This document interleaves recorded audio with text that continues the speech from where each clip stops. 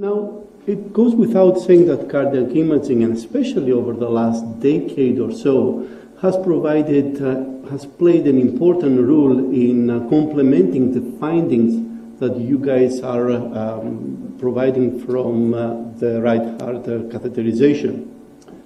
It is important because it does screen for possible pulmonary hypertension, and uh, of course can uh, provide quantification and also risk stratification. But more importantly, and I'm going to show you a couple of slides towards the end of my talk, it might provide an ideal tool for monitor the response, perhaps in a non-invasive way. However, it's nice to say that, but the, at the same time, we are facing with a rather complex anatomy of uh, the right ventricle.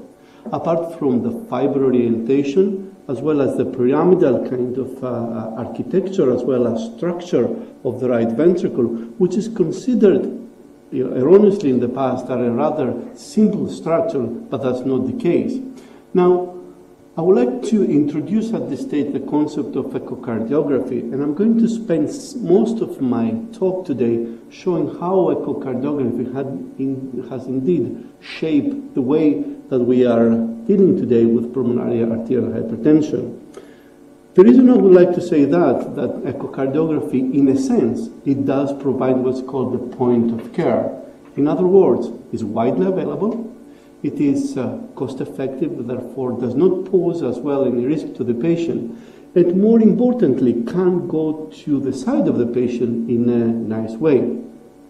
However, we are facing problems, and I said earlier on that the asymmetric, if not pyramidal, uh, structure of the right ventricle does not help us from the calculation point of view.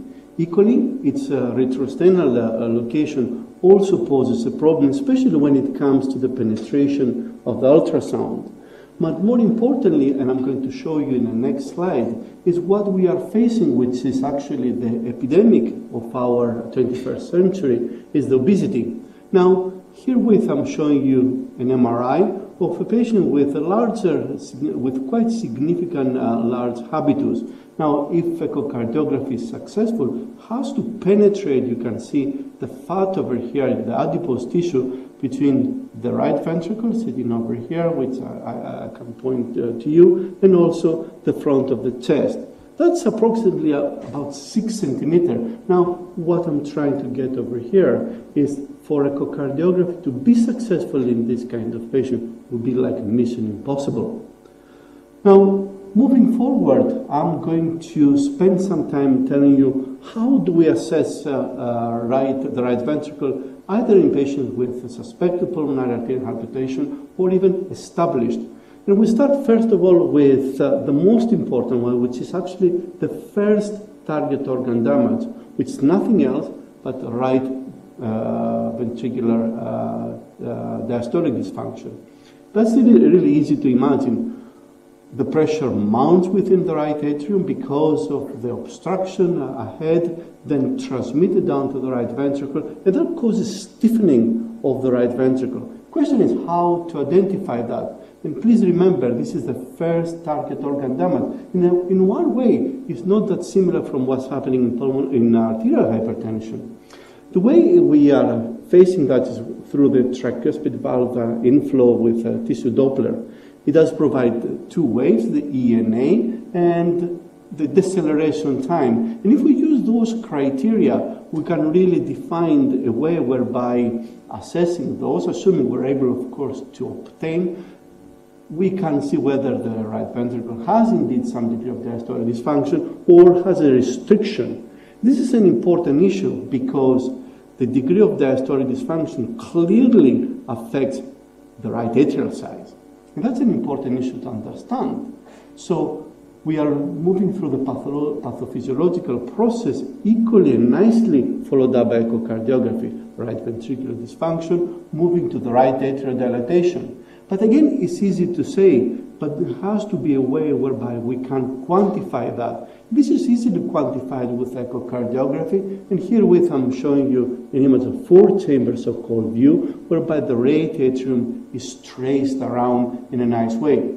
Now, this, this, important, this is important because the index, in other words, the actual area measured in uh, comparison with the, the actual uh, patient size, it does provide an idea of the outcome. I'm showing you a really interesting study of 81 patients with severe pulmonary hypertension, which were followed up for 37 months. Now, what I'm showing you over here is that the assessment of the right atrial size, which is indexed by uh, body surface, it did pre predict actually the outcome over a period of uh, nearly uh, 37 months, which is about four to five years.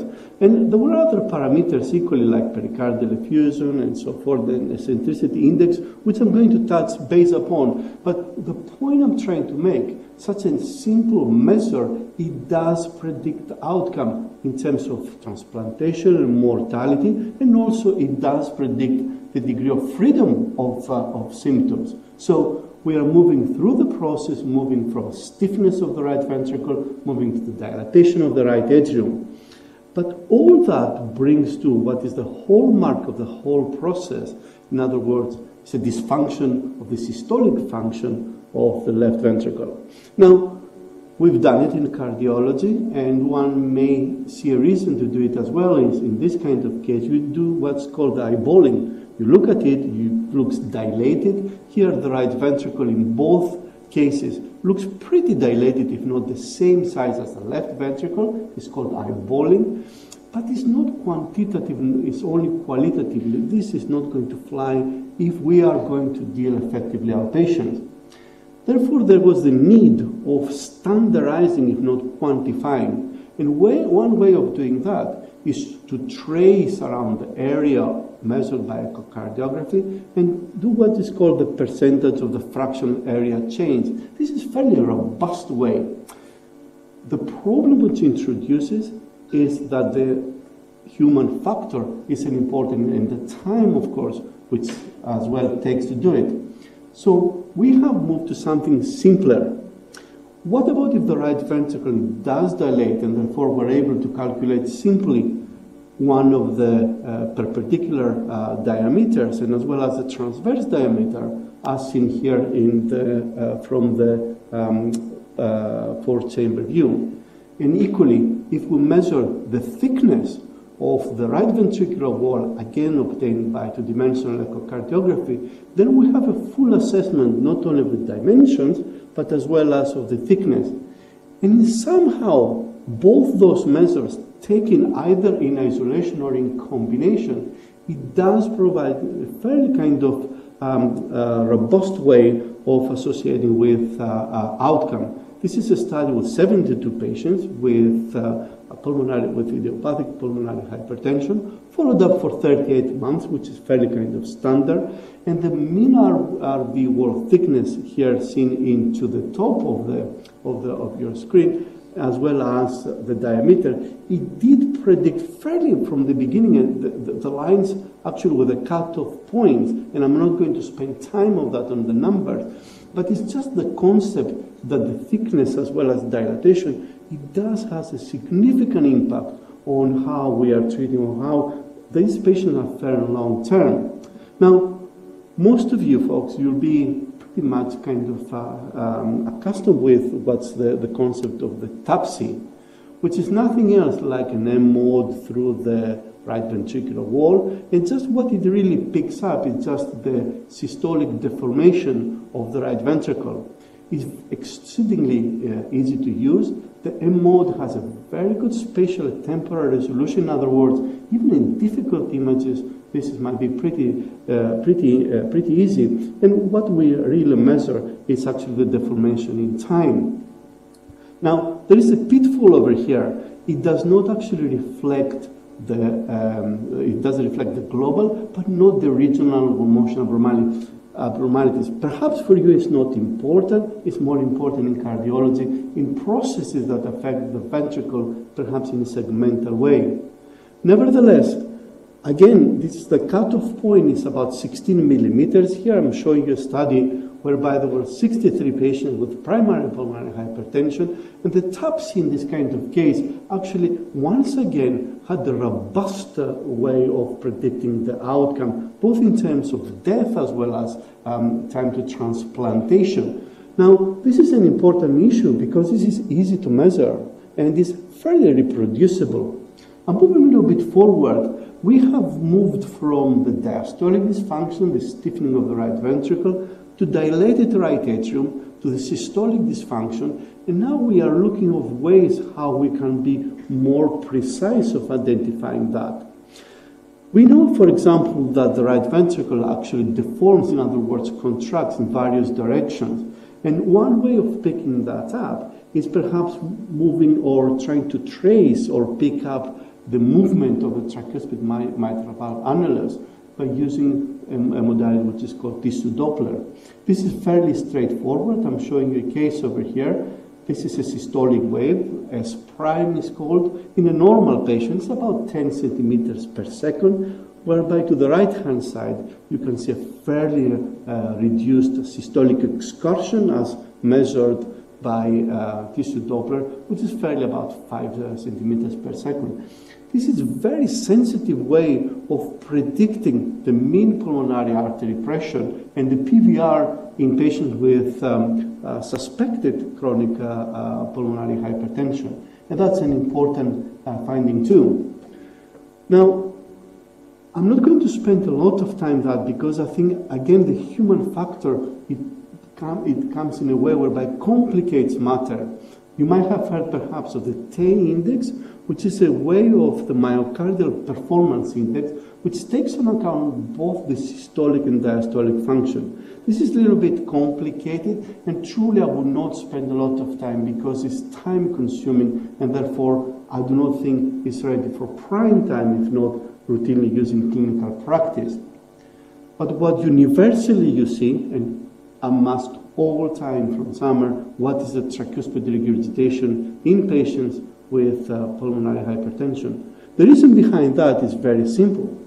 It's because we can't calculate the right ventricular systolic pressure and by definition the pulmonary artery systolic pressure. The limiting factor, of course, is to pick up the tricuspid regurgitation. In other words, the amount of fluid that comes back into the right atrium. Here I'm showing you three cases. A normal case, whereby you can see there is virtually no pulmonary, and no tricuspid regurgitation. A mild case with um, aliasing of the color going back to the right atrium and fairly kind of severe pulmonary uh, regurgitation, giving a, a, calculated pulmonary artery systolic pressure of above 60 millimeter of mercury. Now, the important thing over here is we can calculate that by using a combination of the pulmonary artery systolic pressure and also the uh, dilatation, if not the, uh, the compression of the uh, IVC. This is very good for screening because it does correlate in some way with the pulmonary artery systolic pressure. And I'm showing you this uh, particular graph whereby it was the first, one of the first validation that pulmonary artery systolic pressure as evaluated by echocardiography, it does correspond with invasive measurements. It has a limitation, I'm happy to take questions after that. But let us go back to what's happening to the, to the right ventricle has become stiff, then the right atrium dilates, the, the systolic pressure increases, and then has a detrimental effect on the curvature, in other words, on the septum. Normally, it does not bulge during diastole, but as the pressure mounts up, what it happens instead of being passive, it becomes fairly active and bulges into the left ventricle, whereby you can see it over here in severe kind of cases to the to your right hand side. Now, there are various measures about that. There is called one is called sphericity index. It's used in some of your PH trials, but I think again the, the human factor plays an important role. I would like, however, to show you a different concept to me, as cardiologist, I think the factor, the fact that the right ventricle, that the septum, it goes into the uh, left ventricle during the diastole is exceedingly important because it does affect the cardiac output. And this is a very important issue. This is a study performing with circumferential strain, in other words, the deformation of both the left and the right ventricle. And what really shows that the, the um, the maximum deformation of the right and the left ventricle do not occur at the same time, simply because the interference of the septum it causes them this kind of uh, asynchrony, if you wish. So the impact on both the cardiac output and the stroke volume, both from the left and right hand side, is really deleterious in this kind of case. Now, the rule of the thumb, if you ask any of the echocardiographers, any of the cardiologists, what has been shown robustly to predict the outcome from an echocardiographic point of view are the following. Pericardial effusion, um, index right atrium, uh, the Tei index, the curvature which I showed you earlier on, and of course the TAPSE which I showed you earlier on. Now, if we had to put it all together, in cases of uh, moderate pulmonary hypertension, we start with pulmonary with tricuspid regurgitation, gives rise to um, pulmonary rise pulmonary artery systolic pressure as calculated. Then this rise from the other side in systolic dysfunction, and finally you can see quite a lot of engorgement within the IVC. We have spent a significant amount of time in Glasgow looking into ways how we can identify those vulnerable patients that we do suspect they might have pulmonary arterial hypertension, but they have not manifested themselves, at least on resting echocardiography. Here with I'm showing you a very interesting case of a young guy with scleroderma, whereby, as you can see to your left-hand side, at rest, there is no evidence of uh, increasing pressure within the right ventricle by judging the movement of the right of the septum. However, what happens at exercise is a treadmill exercise, and immediately afterwards we do obtain uh, images. You can see a clear bulge of the septum in diastole. Again, this is a fundamental way to suggest that the pulmonary artery systolic pressure, there's no other explanation for that, it has increases in this kind of patients. So colleagues now moving to a more exciting ways of looking into patients with pulmonary hypertension. We are now embracing the technology as in, uh, technology has embraced echocardiography in the last few years we're able now to identify segment by segment of the right ventricle and the left ventricle in a way which is called strain, in other words, deformation. This provides unique information upon how the right ventricle, wall by wall, segment by segment, it does contract.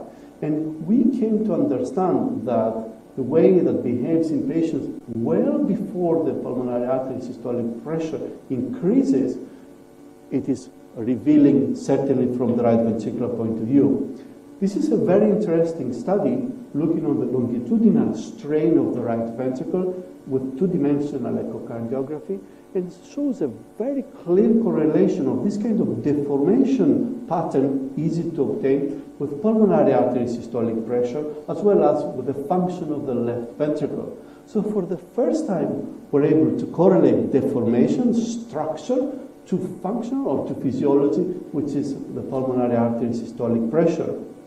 But more importantly, and I'm fascinated by this particular study, is this study over here whereby for the first time we're able to identify what's called a cutoff point. In other words, what is the number whereby above or below that the outcome changes on these kind of patients with pulmonary arterial hypertension. This is a very interesting study with quite a large number of patients, albeit with various etiologies of pulmonary hypertension, nevertheless with a good chunk, about one third of them, with pulmonary arterial hypertension, whereby the longitudinal strain, in other words, the deformation of the right free wall, was assessed by echocardiography, and the patient was followed up for up to 2.6 years. You can see the two curves seen over here into your um, Kaplan-Meier curves really uh, uh, vary since the beginning, and that's an important issue. It suggests this kind of simple measure, it does predict in a very precise way what's going to happen to our, those, our patients. Now, it comes a very simple question. So what's the best then? Which one should be using from this kind of point of view? So this is a trial whereby all those measures I mentioned to you earlier to assess the RV function has been put together. And guess what? Once again, the right ventricular strain, which I mentioned earlier on, it had become the best predictor of right ventricular uh, ejection fraction and volume changes as time goes by. Now, I would like to spend a little bit more time looking again in the technology in a way where kind of you can see in the future. And finally now, the technology has helped us so much to derive from those simple 2D images and moving to three-dimensional echocardiography. Here I'm showing you how can we from two dimensions of the right ventricle move to three dimensions with no limitation in terms of uh, angle or even of uh, cuts or views. This provides a unique ability to measure the right ventricular volumes and ejection fraction similar to that of the MRI. This is a very important study because for the first time shows that if you consider cardiac MRI as the gold standard of assessment of the right ventricle in terms of function, volumes, and uh, so forth, then three-dimensional echocardiography did extremely well in comparison to the gold standard as far as the inter-observer and intra-observer variability concerned, and also as, uh, as predictor. Now, how does it really affect you? And this is the key point I'm trying to, to bring today in my talk. It does affect you because, firstly, it can reduce the sample size of your studies. If you use a technique whereby one of your end point might be the right ventricle, and necessarily has to be right ventricular function in a way whereby it's robustly assessed, then using three-dimensional echocardiography in comparison to cardiac MRI, which is not widely available, it reduces the sample size and also, and that's an important issue uh, again, it does provide an accurate assessment as good as that of the MRI. And equally, by using this technique, we came to understand a different kind of pattern, but please I would like to, to, to focus in this one. This is extremely fascinating from the cardiology point of view because we are accustomed to say that the right ventricle becomes sick simply because it becomes stiff, then subsequently the right atrium dilates, and that affects the right, uh, affects the which gives rise to tricuspid regurgitation, and the, vice, the vicious cycle starts again. But perhaps it's not the same, or certainly it is not the same for all processes. Now we know, for example, that the remodeling of the tricuspid annulus, thanks again to three-dimensional echocardiography, is fairly different when it's pulmonary arterial hypertension. Sorry, I'm going to go back to this one. In comparison to uh, chronic uh, thromboembolic disease, one is restricted, the other one is dilated. How it can affect? Well, we have seen it, for example, in aortic valve disease, whereby narrowing of the heart valve improved the outcome. Perhaps something to consider in this uh, kind of way. Here I'm showing you a 3D speckle, perhaps looking in the future, whereby three-dimensional echocardiography is propelled to look into a different way. But I'm going to finish my talk just showing you some images on uh, cardiac MRI. I have no doubt, and uh, I do all the cardiac modalities, that cardiac MRI is indeed the gold standard. Herewith, I'm showing you a case whereby you can see the right ventricle being dilated, hypokinetic.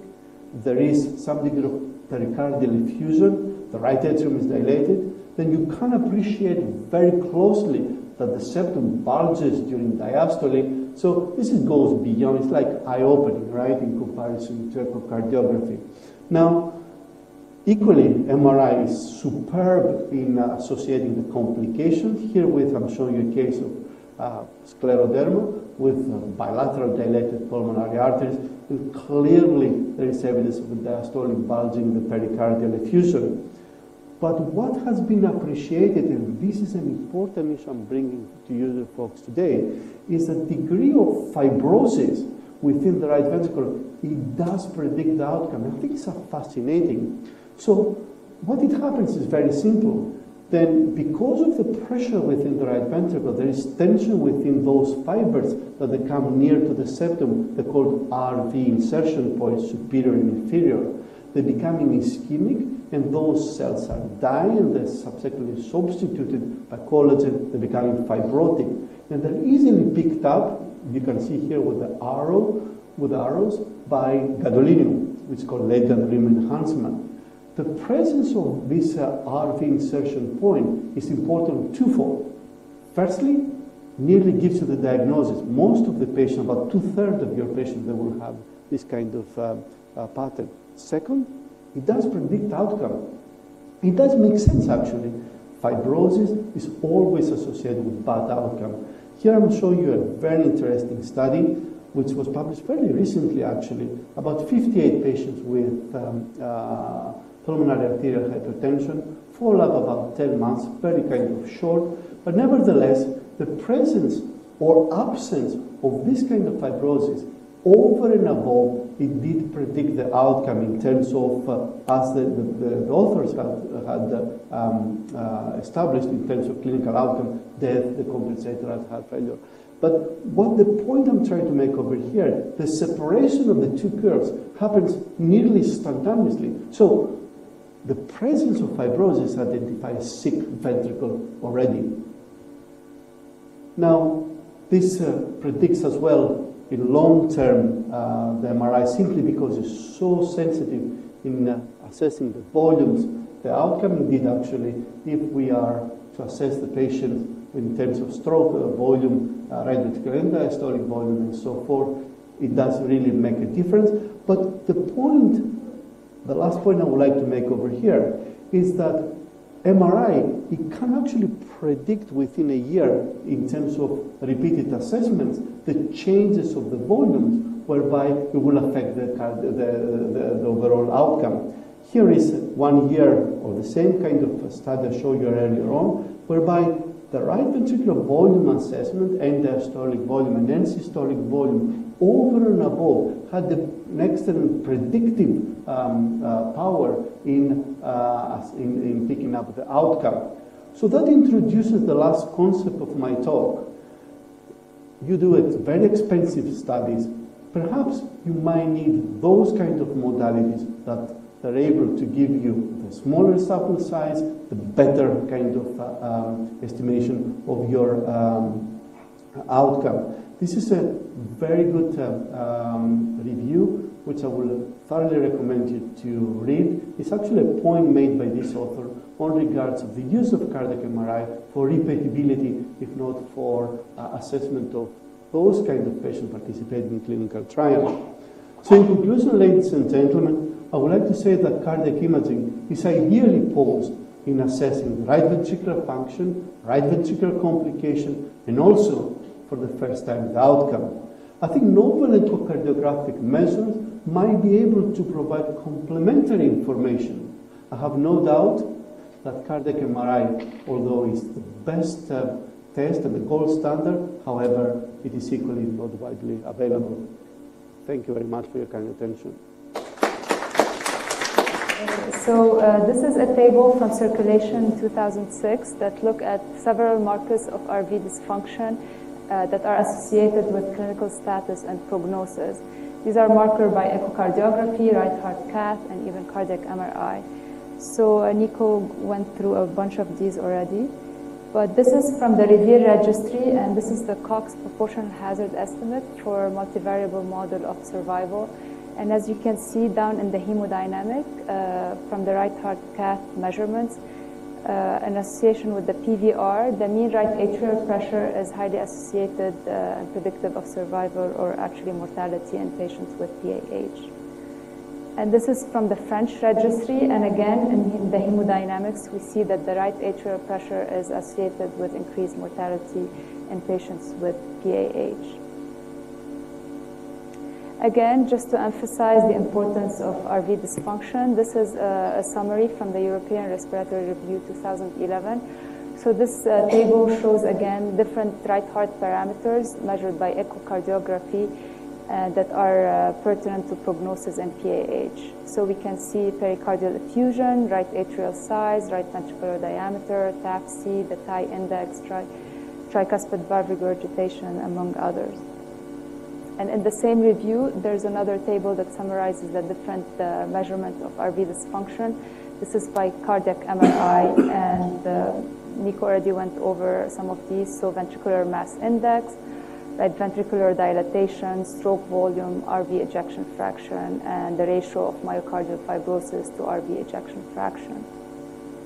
So the, all this is just to put in perspective how important the RV is to, uh, to, improve, to improve survival in patients with PAH. So I'm going to touch a little bit about the difference between the right ventricle and the left ventricle. I'm going to talk about the differences embryologically, anatomically, and physiologically. So I'm sure none of us remember this, but embryologically, the heart is formed from uh, the fusion of two endo, uh, endocardial tubes that come together. They fuse, they enlarge, and rotate, and then the chambers of the heart and the great vessels form.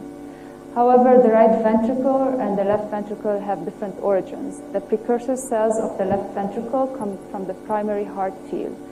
Those of the right ventricle come from the anterior heart field. So the origin of the right ventricle differs from that of the left ventricle. Another important point is that in embryo and in the fetus, the right ventricle is the dominant chamber. However, after birth, the left ventricle takes over and becomes the main chamber, and the RV works mainly as a conduit. Anatomically, there's also differences between the right ventricle and the left ventricle. So the shape is different. The right ventricle is triangular from the side and concentric in cross section. The muscle fibers that form the Okay, so I hope this is better. So the muscle fiber in the right ventricle are in two layers, circumferential and longitudinal, and the contractility. Okay, I'm sorry, I guess we're having problem with my voice. So the muscle fiber uh, of the right ventricle are, are, in two layers, circumferential and longitudinal, and as such, the contractility of the right ventricle is mainly longitudinal shortening. In addition, the right ventricle is uh, highly uh, trabeculated. Do you guys hear me in Cleveland? Yeah? Okay, so I'll continue. In addition, the valve on the right side of the heart differs from those on the left side of the heart, and the tricuspid valve is, has the largest annulus. It's tethered by more than three papillary muscles, and as such is at high risk of structural deformities. Uh, from the standpoint of energy and perfusion, the right ventricle has lower oxygen requirement compared to the left ventricle, and it has a lower coronary blood flow. When there's increased oxygen demand to the right ventricle, these increased oxygen demand uh, are met by increased coronary blood flow or increased oxygen extraction. So how does the RV adapt uh, to increased pressure, such in the case of pulmonary arterial hypertension? The RV response to the pathological load will depend on the nature, the severity, and the chronicity of the insult. And the RV remodeling is in two parts. So there's the initial, initial adaptive remodeling, and then there's the maladaptive remodeling. And we'll talk about this in more details later. So we're going to be focusing on the pulmonary arterial hypertension as the insult to the RV. So there's RV pressure overload. This leads to increased RV wall stress. And there, there's activation of different pathways. There's neurohormonal and immunological activation there's altered bioenergetic, ischemia, and mitochondrial remodeling, and all this leads to myocardial remodeling. There's hypertrophy, there's uh, matrix remodeling, and increase in RV contractility. And then the, the myocardium will either go into adaptive remodeling, where the uh, RV arterial uh, coupling is maintained, or there's maladaptive remodeling, and then there's ischemia, arrhythmias, and the RV dilates and, uh, and fail. So as such, the RV adaptation and remodeling is complex, and it doesn't only, uh, only depend on the severity of the pulmonary vascular disease, but also it depends on the neurohormonal activation, it depends on coronary, coronary perfusion, on uh, myocardial metabolism, it depends on the rate and time of uh, development of the pulmonary hypertension, and it also depends on genetic and epigenetic factors. So when we talk about uh, adaptive remodeling, adaptive remodeling is when there's concentric remodeling. The systolic and diastolic function of the RV are preserved. The RV maintains normal side or maybe there's mild dilatation. In maladaptive remodeling, there more eccentric hypertrophy, there's worsening systolic and diastolic function, and the RV enlarges. This is a nice uh, picture from Jack from 2013, and it shows the, uh, the cellular changes uh, in, the RV when the RV is facing the increased pressure and the pulmonary vasculature. So as the pulmonary vasculature uh, remodels and the pulmonary vascular resistance increase, changes occurs in the, in the myocardium. So at the endothelial cell level, there's increased apoptosis and decreased angiogenesis. The myocardium is going to uh, feel that, and there's increased fibrosis. At the cellular level, so at the cellular level, different pathways are activated. There's uh, increased glucose uh, uptake. There's shift uh, to glycolysis. There's mitochondrial changes, uh, mainly bioenergetic. There's increased oxidative stress and increased uh, ROS. And there's also alteration in the gene expression. Okay, so uh, I'm going to move now to talk a bit more about RV management. So I'm going to start by talking uh, about the approved PAH therapy and how they affect the RV function. So the first class are prostacyclin, and prostacyclin is the oldest drug available to treat pulmonary hypertension. It has been shown to improve survival. Prostacyclin causes uh, pulmonary vasodilation, and it improves cardiac output and decreases uh, cardiac filling pressure. So the effect of prostacyclin on the RV, the data is not very strong. The, there's one animal model where they used iloprost and they show that there's improve, uh, it improves RV contractility and it reduces fibrosis regardless of pulmonary artery pressure. However, in clinical data, there has not been a direct effect of prostacyclin on the RV.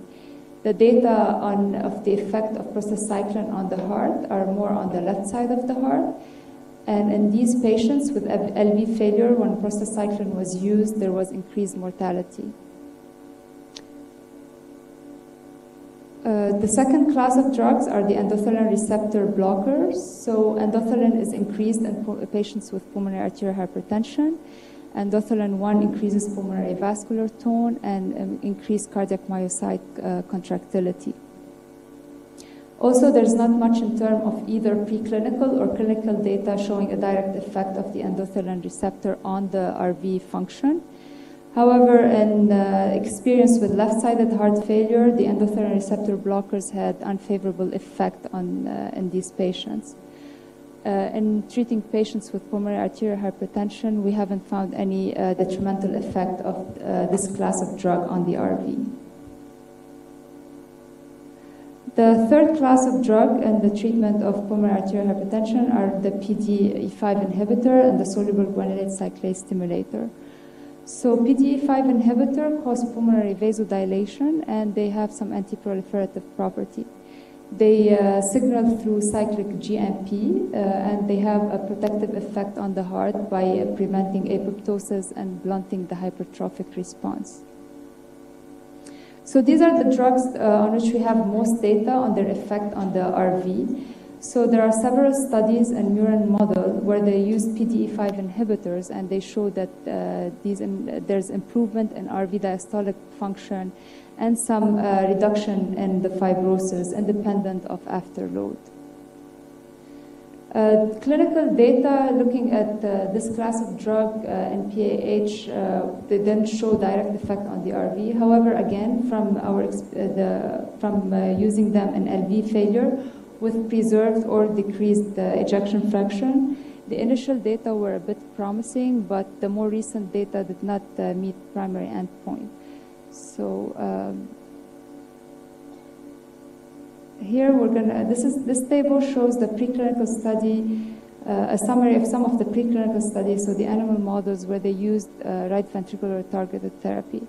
So different models have been used, the monocrotaline uh, rat model, the PA banding model, and the hypoxia uh, model. And different drugs have been used to try to see if they affect the RV function. And these are the studies that show that these different drugs kind of affect RV hypertrophy, RV remodeling, RV uh, function. And uh, we're going to be focusing on some of them. I'm not going to go through all of them. So uh, uh, more and more interest has been given to beta blocker and, treat, uh, and, and, targeting uh, RV and PAH. And this is learning from the cardiology experience. So beta blocker is, uh, has a central role in treatment, uh, in, in, treatment of left heart failure. It improves outcome in one third of patients with LV heart failure. So why don't we use it to treat the RV failure and, uh, and pulmonary arterial hypertension? In fact, in pulmonary arterial hypertension, similar to LV failure, uh, there's increased activity of the sympathetic nervous system. And there's decrease in the number and downregulation of the beta adrenoreceptors. However, uh, it has always been uh, the saying that we shouldn't use beta blocker in patients with PAH mainly for concern that these patients rely on their uh, heart rate uh, because they can't improve their stroke volume, so they rely on that for their exercise. So due to concerns in reduction of heart rate, decreased contractility, and because of concern of systemic vasodilation, we haven't been using beta blockers in PAH, and we, we actually we had been stopping beta blocker in patients who have a diagnosis of PAH. And this is also based on uh, two studies, uh, uh, based uh, both of them in patients with portopulmonary hypertension. So there was a case report of a patient with portopulmonary hypertension uh, who had was started on beta blocker and had a hemodynamic collapse. And there's another study where patients with portopulmonary hypertension they withdrew propranolol and the patient did better and had improvement in exercise tolerance. So based on uh, these data, beta blockers have not been used in patients with pulmonary arterial hypertension. So over the year, uh, more recent years, there's more and more interest in using this drug category to treat the RV failure and PAH. And there's several studies using animal models, different animal models of PAH using beta blockers, mainly carvedilol and bisoprolol, and now more recently nebivolol. And these studies have shown that uh, beta blocker actually improve exercise tolerance, improve RV capillarization and function, and they actually improve RV arterial coupling. So this is one of the major studies, and uh, it looked at two uh, models of, uh, uh, of PH, the SU5416 hypoxia rat and the monocrotaline rats, and they used carvedilol uh, as the beta blocker. And in the hypoxia rat model, uh, here we can see uh, the, the, uh, the, rats that uh, got placebo, and this is the carvedilol treated rats. So at the level of the pulmonary vasculature, carvedilol had no effect, so there was no change in the angioproliferative pulmonary vascular remodeling. However, when we look uh, uh, macroscopically at the heart, there's definitely less RV hypertrophy in the, in the carvedilol treated group.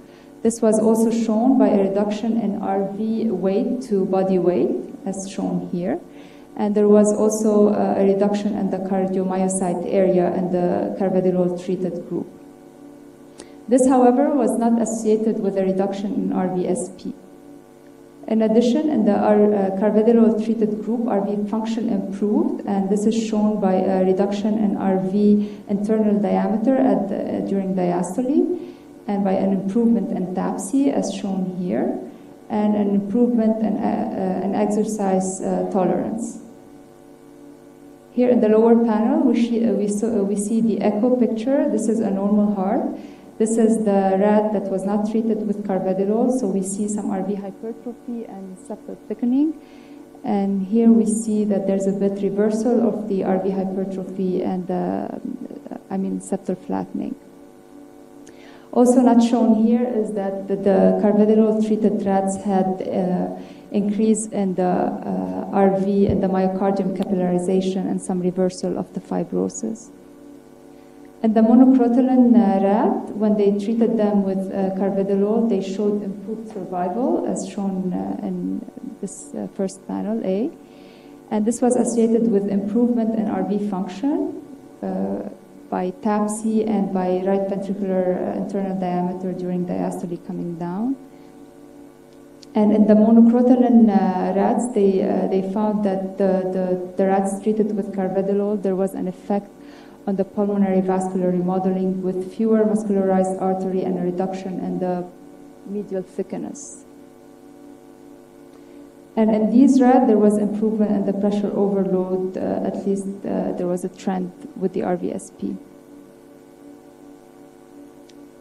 So more recently, there was a study using nebivolol to treat uh, in, uh, in, in, rats with monocrotaline-induced pulmonary hypertension, and they compared that to metoprolol, and they showed that nebivolol was more potent and it uh, improved endothelial dysfunction, pulmonary vascular remodeling, and right heart function. So, uh, is there any clinical data about using beta blockers in uh, pulmonary arterial hypertension? There, there, was a prospective study by So et al. that looked at patients with PAH, and they found that beta blockade was actually common in these patients and was safe. There was another small prospective study done by Grinnan et al and this was uh, published in the American Journal of Respiratory and Critical Care Medicine in 2014. So it was a very small pilot study, six patients only, that were treated with carvedilol. So there wasn't a placebo arm, and the endpoint was uh, RV function by MRI. And we can see that uh, in their hands, uh, the RV ejection fraction improved in all patients. RV and diastolic volume that was, did not change. Some of them actually dropped. RV systolic volume dropped significantly and RV stroke volume improved. So this is over six months and it's a small study.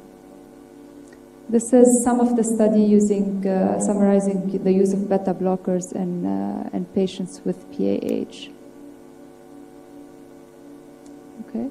So pulmonary arterial hypertension treatment with carvedilol for heart failure, uh, the PATCH study. This is a, study that uh, I was part of at the Cleveland Clinic in Ohio. So we finished the last patient and we're currently analyzing the data. So the study was looking at also treating patients with pulmonary arterial hypertension with carvedilol, carvedilol and the endpoint was looking at PET scan before and after six months of treatment. And it was a, a randomized blinded study with three arms, placebo arm, carvedilol fixed dose, and carvedilol with dose escalation. So uh, we don't have the, the, data is being analyzed, so we have to stay tuned to see what we're going to get out of this.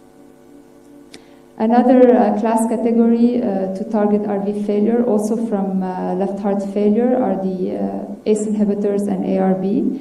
So they play an important role in LV failure. In PAH, there's no strong clinical, uh, no strong evidence clinically. Uh, in animal models, uh, there was the animal model of PA, uh, PA banding where they showed that it improves RV function. However, in the other models, there was no effect. Uh, other, uh, other RV targeted therapy being looked at, so metabolic modulators, since there's alteration in bioenergetic of the RV, antioxidant, tetrahydrobiopterin. There's also uh, RV pacing, uh, as non-pharmacological RV therapies, exercise, atrial septostomy, and then mechanical RV support and transplantation. So this is a quick summary. So the RV starts, uh, we start with functional RV hypertrophy, where there's sufficient RV hypertrophy, sufficient capillaries, sufficient energy. There's preservation of mitochondrial function and the preservation of the RV arterial coupling. As the RV decompensate and goes into RV failure, then there's insufficient the hypertrophy, there's apoptosis, there's a decreased angiogenesis and capillary rarefication, there's metabolic uh, remodeling and insufficient energy production. We get mitochondrial dysfunction, we get RV arterial uh, uh, uncoupling and increased oxidative stress and extracellular uh, matrix remodeling. So the goal of treating the RV should be to try to keep the RV here, so treating maybe early and uh, or trying to move the uh, the RV from here here, trying to maintain contractility at the reduced energy consumption, reducing fibrosis, improving capillary function, reducing uh, oxidative stress, inhibiting apoptosis, and maintaining sufficient myocardial hypertrophy.